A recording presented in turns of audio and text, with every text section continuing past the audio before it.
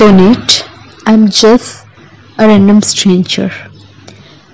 I'm just a random stranger for him, a mere speck in the vast universe of his life, a face lost in the crowd, name unknown. Yet he is the main reason of my entire existence. The sun that lightens and brightens up my every thought. In this vast world, we cross paths fleetingly, two souls adrift, yet intertwined by fate's design. He knows not the depth of my devotion, nor the storms within my heart that rage.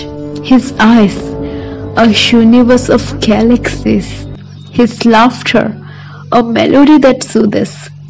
Every word he speaks, every smile he shares, the very essence of his being, like a rare elixir.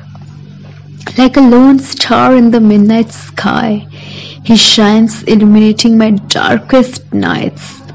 And though he may never know my name, I'm forever enchanted by his light.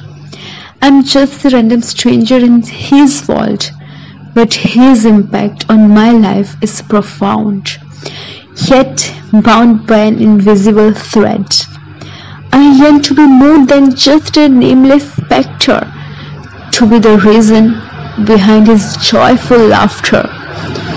But I remain a distant star, shining from afar, for in his presence I find solace and inspiration, a muse that fuels the fire within my poetic soul. In this universe, vast and infinite. He's the main reason my heart resounds.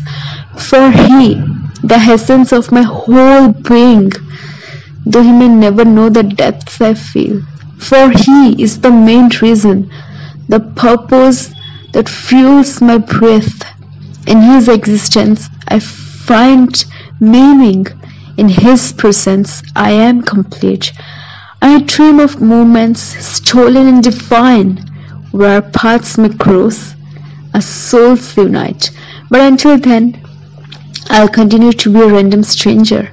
I'll cherish the design of loving him, though I'm hidden from sight. For he, the main reason of my existence, will forever hold a special place in me. I'm bound to him forever and endlessly.